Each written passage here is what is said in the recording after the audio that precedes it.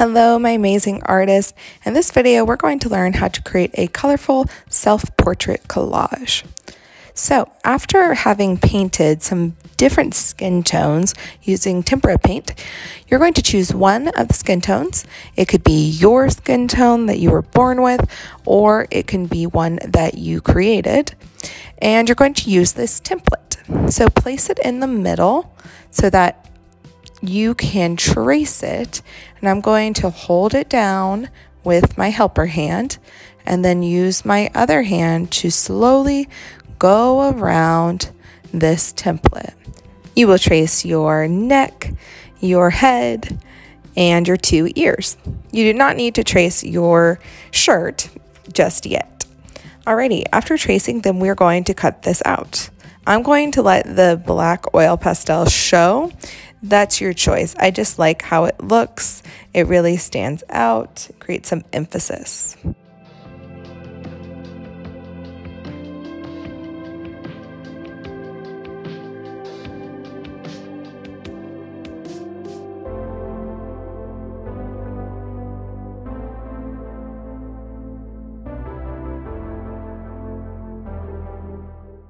Now, since this is a collage, we're going to be gluing this on another piece of paper. So we're going to choose white paper. Please write your name, turn it over. And then you need to get your glue bottle out and you're going to outline the head that you traced. And this is thicker paper, so you might need a little more glue than normal. See how I'm doing some swirlies there with my glue? Then here's the important part. You're going to turn it over, and your goal is to try to line up the bottom of the neck with the bottom edge of your paper. I'm trying to put this right in the middle so that it is centered. I'm using my hands to press it down, and then to really make sure it sticks, flip it over and rub, rub, rub, like you're giving your paper a massage. This is going to help the papers bind together. It's called grab time. All right, so we've practiced drawing some eyes, and now we're going to draw some eyes on our portrait. So our eyes need to be about where our ears are in height. You're going to draw one curved line on top and then a curved line on bottom. And then let's do our other eye. One curved line on top, one curved line on bottom. Okay, then we're going to color this in all the way white. This is going to help make our eye color really pop out. So I'm coloring this in with white pastel. And then we need to draw the inside of our eye. This is called the iris. Your iris is the colored part. So choose whatever color you would like. If this is a self-portrait, then choose the color that matches your eye color. Or, of course, you could choose a different color. After you have colored in the iris, we need color in the pupil. The pupil is the little black dot that's in the middle of our eyes. And then, of course, if you need to go back over your uh, black oil pastel lines, you can. Okay, friends, like we've seen in class, there are so many different types of noses. All of us are unique, and there's so many different types and ways to draw them. If you'd like to follow me, I'm going to draw one curved line on the bottom and then it looks like a C and then a backwards C. And you could leave your nose like this or draw two little kind of slanted lines up on the sides. All right. And also, we've talked about how all of us are unique. This is your portrait. You can draw your mouth however you would like.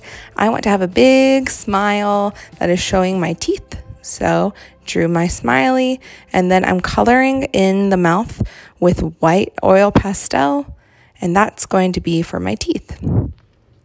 All right, well, I need some sort of lips, so I'm to use a pink and see how that shows up and if I like it. And I feel like it's not really dark enough, so I'm just to go over that pink with the red oil pastel.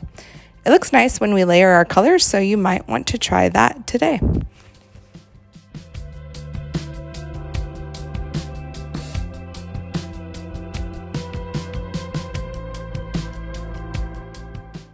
And so that you can tell these are teeth, I'm drawing some vertical lines and then I'm going to draw one horizontal line. It's kind of a curved line. And then I'm missing some eyebrows, so I'm just drawing some little curved lines on top and these straight diagonal lines for my eyelashes. All right, to make our ears stand out, I'm drawing those little curved lines again on the sides. And you might want to add some little cheeks if you'd like. And then for the bottom of my chin, just one little curved line. All right, I'm loving how this is looking, but I am missing some hair. Now, no matter what type of hair you have, we're going to use watercolor today. So I'm going to draw some, or paint, sorry, some black curvy lines here, and those are going to represent my hair. Feel free to get creative with this. Maybe you need to combine some colors and you can create different values.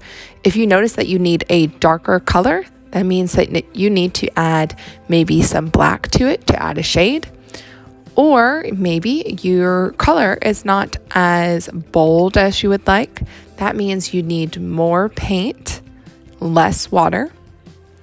And it also works the opposite way. If you have too much paint, that means you might need some more water.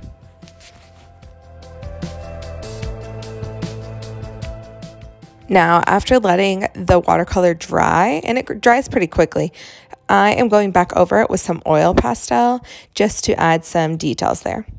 Okay, now we need a shirt. So you have a few options for this. I thought it would be fun to use some painted papers and I'm going to use my template and I'm tracing the shape of my t-shirt here onto the painted paper.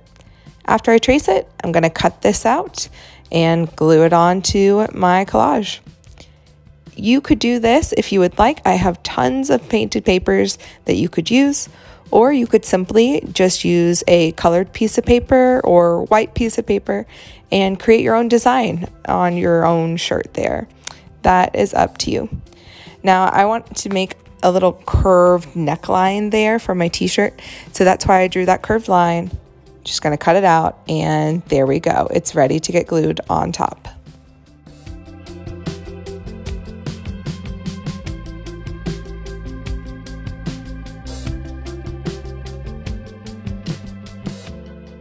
When gluing, your goal is to line up the, the bottom edge of your shirt with the bottom edge of our paper.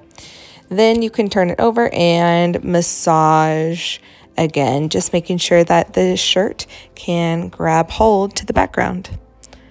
All right, well now, speaking of a background, we need to create one. So we're going to use our color wheel and you can use warm colors or cool colors for your background. I am going to use cool colors and I'm going to pull out the colors I'm going to use.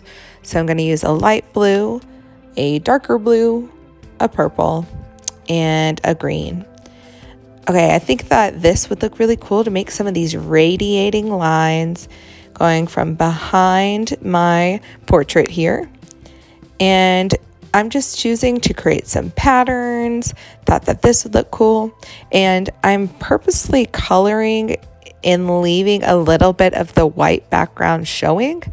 And that's because I'm going to add a layer on top of this. So I would do something similar to what I'm doing um, just because it's going to create some cool textures for our background.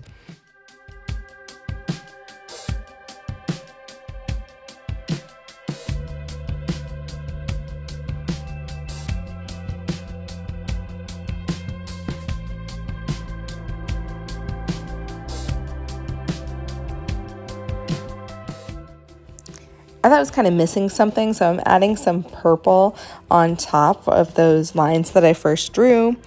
And that's the great thing about oil pastel. You can layer these colors really easily.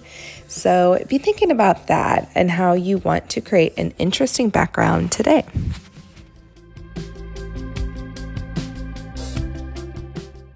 And just to make this artwork extra special and beautiful, I'm going to add some watercolor on top of the background. Because I used oil pastel and I'm adding watercolor on top, this is going to create a resist. The oil in the oil pastel does not get along with the water in the watercolor, and that creates a resist. See how it's bubbling up there? Very cool. I love how that looks.